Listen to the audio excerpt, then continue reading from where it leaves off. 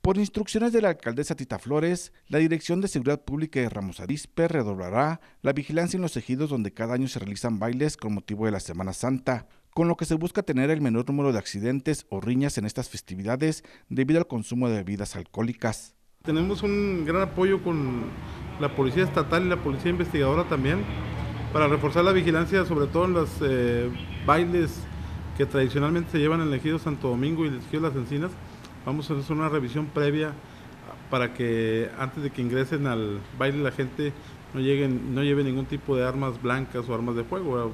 Obviamente para que se desarrolle una total calma el, baile, ¿no? Sabemos que en la carretera antigua Monclova, ahí se desarrollan varios bailes, entonces previo a eso estamos haciendo un acuerdo con ellos para hacer una revisión al, inicio del evento y al término del evento para que la gente tenga conciencia como manera preventiva donde va a estar la policía de caminos, la policía de Fuerza Coahuila y nosotros mismos, eh, advirtiéndoles para que los que conduzcan los vehículos sea gente que no, no haya consumido bebidas embriagantes y poder evitar accidentes. El encargado de la seguridad de los Ramos Arispenses resaltó que las fuerzas municipales trabajan de manera coordinada con las demás corporaciones policíacas para no descuidar la vigilancia en la ciudad durante estos días. Las estadísticas nos hablan que en épocas de vacaciones sí se elevan un 60% los robos a casa habitación, entonces de esta manera queremos concientizar también a la gente eh, en la medida que ellos tengan la posibilidad de que aseguren bien su hogar.